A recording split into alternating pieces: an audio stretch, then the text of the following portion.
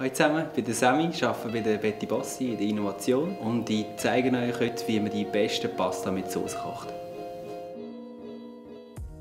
Also wenn ihr Pasta mit Soße kochen dann wählt ihr am besten hochwertige Teigwaren mit möglichst rauer Oberfläche.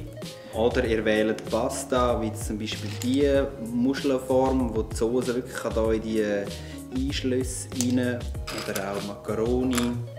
Die sind perfekt, wenn ihr Pasta mit Soße kochen Wasser aufkochen und dann genug salzen. Und wichtig ist, dass ihr kein Olivenöl ins Wasser rein tut, sonst bleibt nämlich die Soße wieder nicht haften.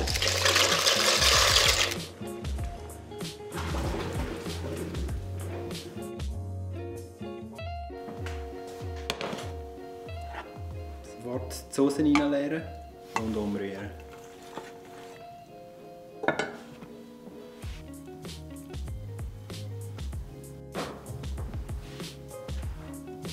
Perfekte Pasta mit Soße.